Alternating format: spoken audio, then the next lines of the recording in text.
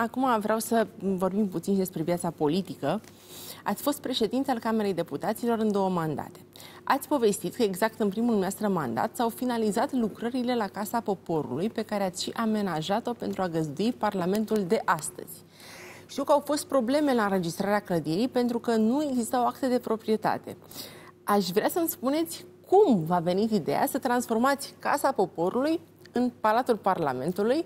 Urmează întrebarea. Cât a costat să mutați Parlamentul în Casa Poporului? Casa Poporului uh, nu are un buget. Deci Curtea de Conturi uh, a, a fost disperată că nu a găsit hârtii ca să vadă cât a costat investiția de acolo. Uh, în ceea ce privește mutarea, ea s-a făcut în etape.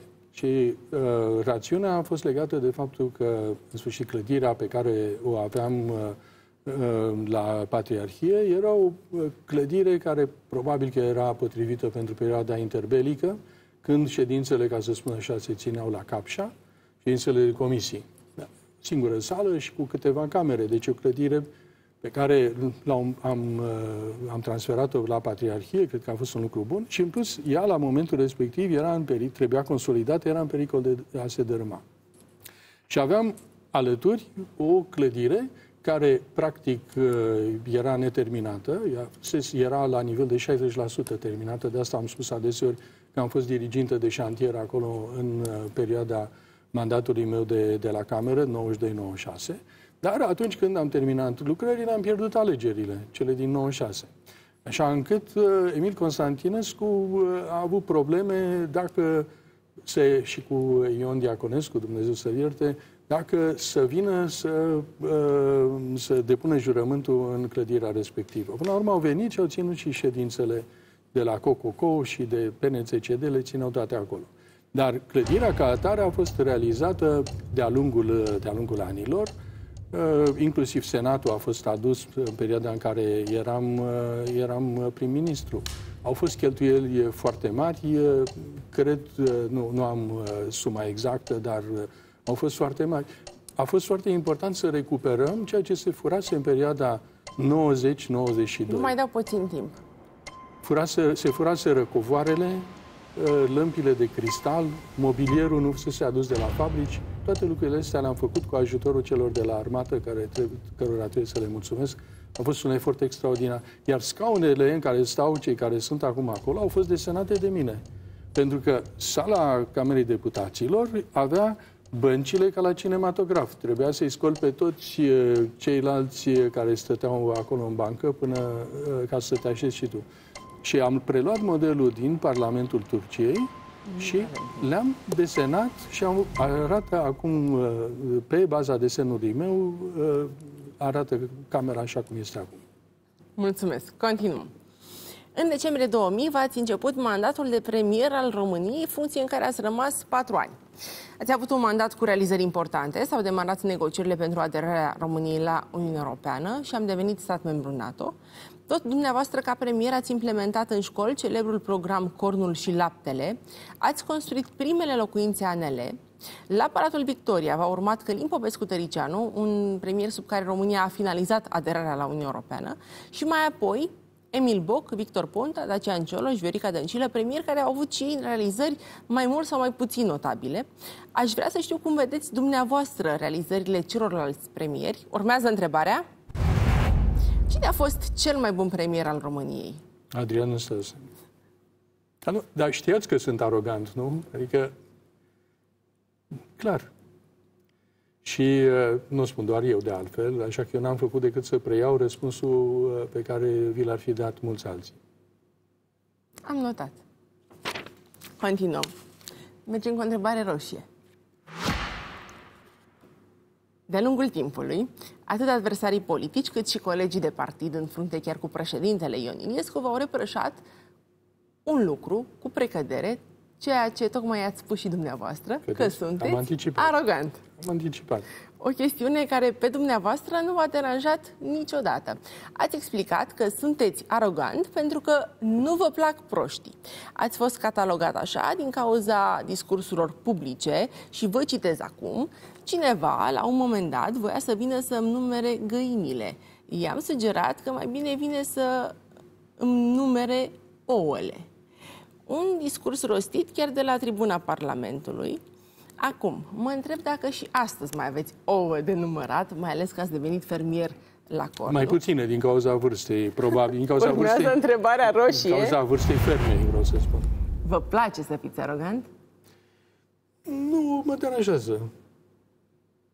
Sau cu alte cuvinte, uh, repet ce am spus acolo, mă deranjează proștii, mă deranjează idioții, mă deranjează cei care se prefac că nu înțeleg, mă deranjează cei care nu au cultura necesară pentru a privi dincolo de orizont și uh, uh, știu care este valoarea mea.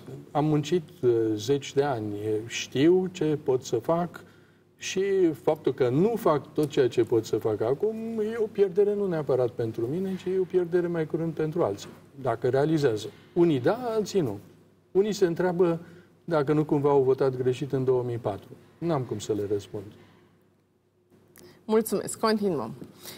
În mandatul dumneavoastră de premier a apărut o categorie aparte de politicieni, mă refer la baronii locali, pe care presa i-a botezat, citez, locotenenții lui Năstase în teritoriu, amintesc doar câteva nume, Nicolae Mischie, Mariano Prișan, Mircea Cosma la Prahova, Ioan Rus la Cluj, Nicușor Constantinescu la Constanța erau acei șefi de consilii județene cărora le-ați dat acces la banii județului, o strategie pe care și astăzi o folosesc partidele ca să își păstreze puterea în teritoriu, iar baronii locali sunt mulțumiți și asigură la schimb voturi pentru partid.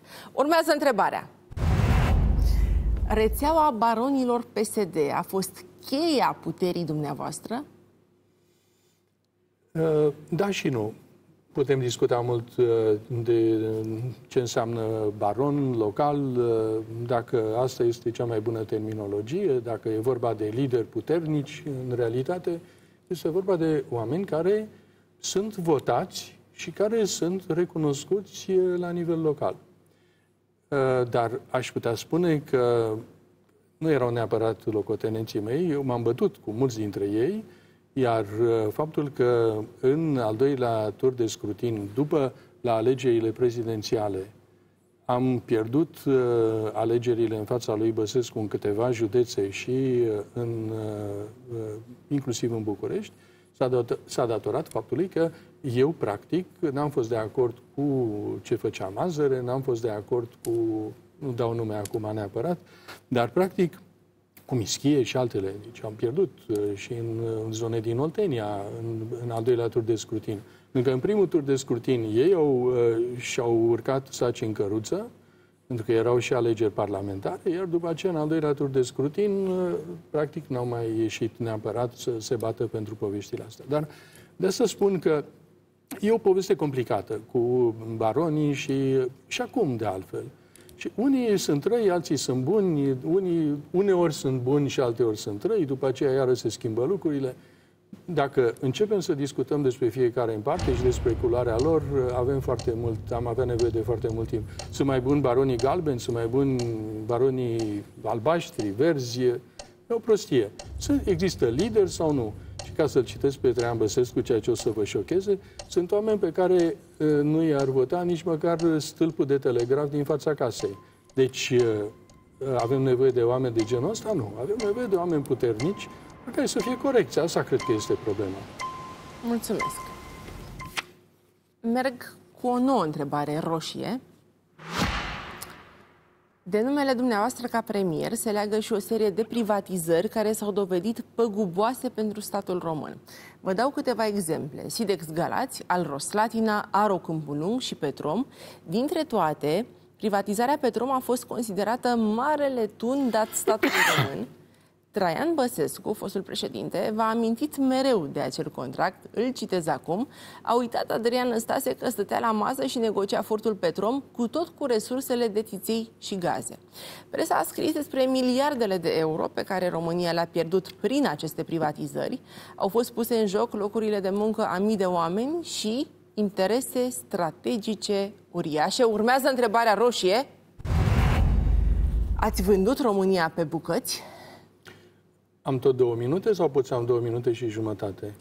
Puteți Pentru aveți. ta, da? Mulțumesc. Vă dau timp. Uh, Deci, în primul rând, Traian Băsescu știe despre ce vorbește, pentru că el a semnat în 2000, în calitate de ministru, uh, uh, memorandumul cu Banca Mondială, care solicita pentru obținerea banilor din partea femeiului uh, privatizările astea cu 50%, 51%. În ceea ce privește SIDEX-ul, sigur, SIDEX-ul era o vacă de mulți, pierdea un milion de dolari pe zi. Puteam să continuăm așa, pentru că el era deci erau uh, și la intrare și la ieșire căpușe locale care unii aduceau resursele în fabrică, alții vindeau uh, fierul beton sau ce mai produceau ei acolo. Uh, sigur, lucrurile puteau continua așa, dar era o perioadă în care toate țările ex-sovietice, ex-socialiste, vindeau combinate siderurgice. Atunci, soluția asta a apărut cea mai bună cu indienii respectivi, Faptul că după aceea nu s-a mai construit, faptul că au apărut alte combinate, e o altă poveste. Dar, repet, în perioada aceea, statul trebuia să plătească un milion de dolari pe zi, care erau salariile muncitorilor, pe formula de căpușare respectivă. Nu și unii își aduc aminte pentru că au participat la operațiunea respectivă. Dar cei mai mulți vorbesc aiurea despre povestea de la Sidex. Cu Petromul la fel. Problema nu este n-a fost neapărat contractul, care a fost examinat de o comisie parlamentară de anchetă și au spus că a fost în ordine și prețul și toate celelalte lucruri, ci clauzele post-contractuale, post-privatizare, care nu au fost respectate. România tre- trebuia să aibă și astăzi 49% din acțiuni. Nu le mai are, pentru că au fost împrăștiate, date la fondul proprietatea, unde era Gittenstein, unde erau alții. Vă mai dau un minut. Deci au încercat să vândă acțiunile de la Sidex uh, de curând, și au luat un preț mai mic decât cel cu care am vândut noi în 2003-2004. Uh, așa încât uh, lucrurile astea pot fi discutate. Iar acum, stând așa în fotolii uh, convenabile, confortabile, ne aducem aminte de ce se întâmpla în perioada aceea și putem să fim critici. Nu vorbesc de noi doi, că noi doi nu suntem neapărat critici, dar cei care fac acest lucru fără să cunoască detaliile. Deci, eu, sigur că se putea mai bine am vândut resursele. Care resurse? Resursele nu pot fi vândute. Pentru că ele fac parte, conform Constituției, din patrimoniul statului. A, au fost concesionate. Au fost concesionate pe 10 ani. De ce n-au schimbat după 10 ani redevențele? Sau să retragă concesiunea de petrol și să rămână OMV Petrom cu clădirile și cu sondele în aer. De ce n-au venit americanii? Păi cum să vină americanii când ei exploataseră acum 100 de ani? petrolul și era mult mai simplu să exploateze... Vă mai dau 30 de secunde. 30 de secunde. Exploatau uh, la vremea aceea în Irak sau în fostele republici sovietice petrolul la suprafață, care băltea. Să meargă la 2000 de metri în adâncime după ce americanii, sovietici, nemții uh, sovietici exploataseră petrolul din România, erau proști? A, voiau să cumpere stațiile de benzină. Britanicii la fel. Că puteau să fie soluții mai bune? Poate. Sunt, dacă asta este. Acum pot uh, cei care sunt uh, mai deștepți decât mine să găsească soluții mai bune. Mulțumesc.